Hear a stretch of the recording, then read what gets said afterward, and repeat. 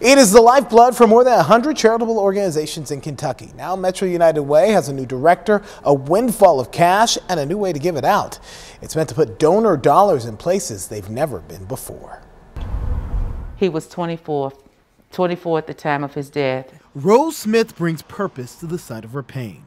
I tell everybody I'm just working with the hand I was dealt. 25th and Standard, where her son was killed. Corey, nicknamed Ace Crow. Now home to the ACE Project. We do a business plan. Uh, they launched their product. The Academy of Child Entrepreneurship. Got her skill of sewing at the ACE place, and she took that skill and turned it into a business. Smith has a wall full of teen CEOs that she's helping to build their own business. Funding has not been easy. I have been turned down a lot. Stories like this come to mind for the new head of Metro United Way. We haven't been an opportunity for smaller organizations, organizations that are led by Black, Indigenous, or people of color. Adria Johnson's the first Black woman to lead the organization in its 104 year history. We are a product of, of systems that have been in place for a long time that have just not been equitable. She's breaking down those barriers, shifting United Way to a trust based philanthropy model,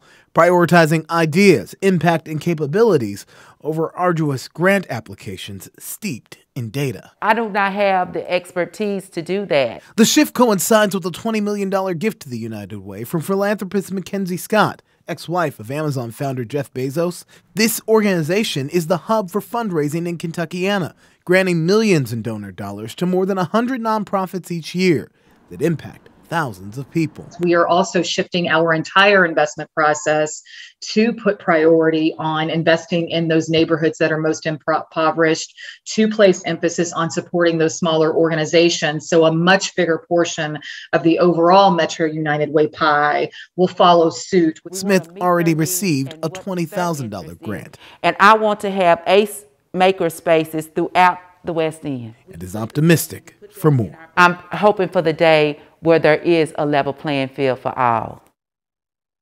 The United Way started a Black Love Fund to advance this cause. The first million dollars has been awarded to 19 nonprofits, and half of them were first time recipients.